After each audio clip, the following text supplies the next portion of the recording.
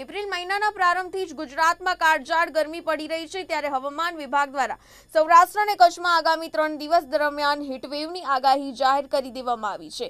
ખાસ કરીને ગીર સોમનાથ, કચ્છ, પોરબંદર અને રાજકોટ જિલ્લામાં ગરમીની તીવ્ર અસર જોવા મળશે. આ ઉપરાંત અમદાવાદમાં પણ ગરમી વધવાની સંભાવનાને ધ્યાનમાં રાખીને યલો એલર્ટ જાહેર કરવામાં આવ્યું છે. દરમિયાન એકતાલીસ પોઈન્ટ એક ડિગ્રી તાપમાનની સાથે ડીસા ગુજરાતનું સૌથી ગરમ શહેર રહ્યું હતું, જ્યારે અમદાવાદમાં ચાલીસ પોઈન્ટ બે રાજકોટમાં ચાલીસ પોઈન્ટ આઠ અને ભુજમાં એકતાલીસ ડિગ્રી તાપમાન નોંધાયું. પણ યલો એલર્ટ આપવામાં આવ્યું છે. હવામાન વિભાગ દ્વારા જણાવવામાં આવ્યું છે કે આગામી ત્રણથી ચાર દિવસ હજુ પણ અમદાવાદનું જે તાપમાન છે વધતું રહેશે. એપ્રિલ મહિનાની શરૂઆત છે ત્યારે જ આ પરિસ્થિતિ છે. તો હજુ પણ જે કહી શકાય કે મે મહિનો છે ત્યારે પણ ગરમી જે છે વધુ જોવા મળશે.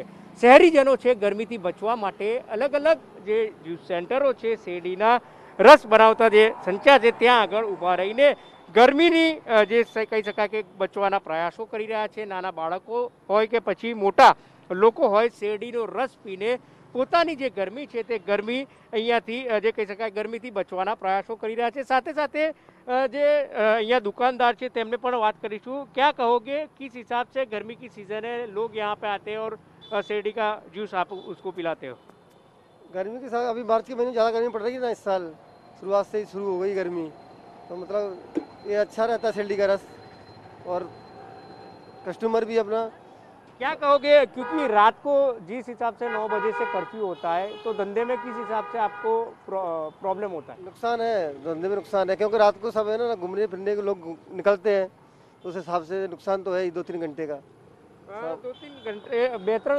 કલાકનું જે છે તેમને નુકસાન છે સાથે સાથે ગરમીનું પ્રમાણ વધતું જાય છે અહીંયા જે અ, જ્યુસ પીતા ખાસ કરીને શેરડીનો રસ પીતા લોકો છે તેમની સાથે પણ વાત કરીશું.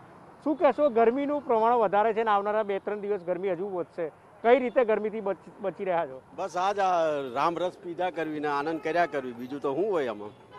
ચોક્કસ રસ પીને પોતાની જે કહી શકાય કે ગરમી છે ને ખાસ કરીને ગરમીથી બચવા માટે લૂપ લાગવાથી બચવા માટે શેરડીનો રસ તેમજ અલગ અલગ ઠંડા પીણાનું સેવન કરી રહ્યા છે. શું કહેશો ગરમીને લઈને ગરમી વધુ છે?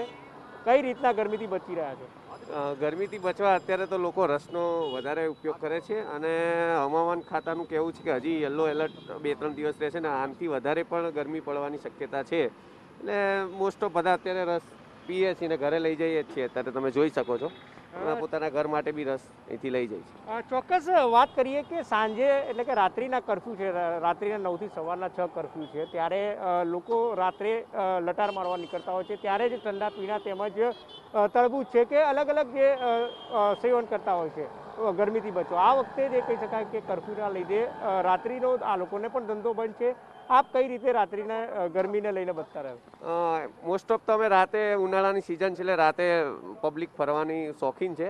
અને રાતે નીકળતા પણ અત્યારે સરકારના જાહેરનામા પ્રમાણે નવ વાગે ટોટલી ધંધા બંધ છે. એટલે થોડી તકલીફ પડે છે, ધંધાવાળાને બી પડે છે. અને અમે ફરવા અત્યારે અમદાવાદની પબ્લિક ફરવામાં શોખીન છે. એટલે ફરવાવાળાને બી અત્યારે જોઈએ તો તકલીફ પડે છે. ચોક્કસ, જે લોકો છે, હજુ પણ જે કહી શકાય કે શેરડીના રસ અને ખાસ કરીને શેરડીના રસ પીવા માટે આવતા રહે છે.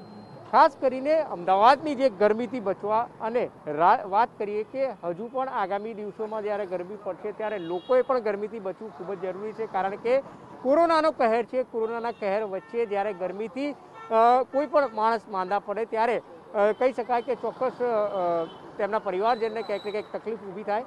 તો જે પ્રમાણે શહેરીજનો છે, બપોરના સમયે બહાર ન નીકળે અને ખાસ કરીને બિનજરૂરી બહાર ન નીકળે તેને લઈને પણ ગરમીથી બચી શકાય અને સાથે સાથે લીંબુ શરબત છે સિકંજી છે શેરડીના રસ છે અલગ અલગ જે જ્યુસ છે તે પીને પણ ગરમીથી બચી શકે છે.